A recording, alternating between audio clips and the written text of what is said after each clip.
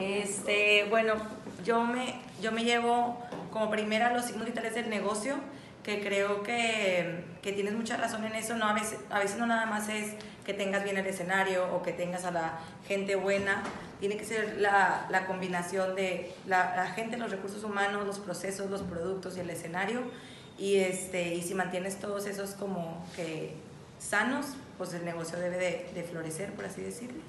Eh, el segundo que me llevo son los perfiles de puestos, que todos vimos que es algo súper complicado de hacer y creo que es algo que no es complicado, sino es tardado, pero es muy importante y creo que del perfil de puesto, de ahí nace lo que todos concuerdan de reproducirse, ¿no? Si no, si no, si no tienes un perfil de puesto no te puedes reproducir porque si se te va ese, tienes que tener el perfil para decirle qué tiene que hacer. Entonces de ahí nace todo.